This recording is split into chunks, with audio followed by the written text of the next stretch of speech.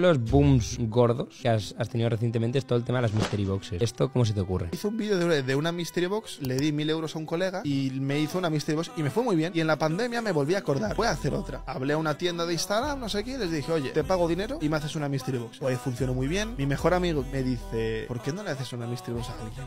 Coño, pregúntale a Gareth. Y le dije a Gareth, ¿te molaría que te regale una caja? Y me dice, sí, adelante. Y a partir de ahí, llegar hasta Duki es un poco raro, la verdad.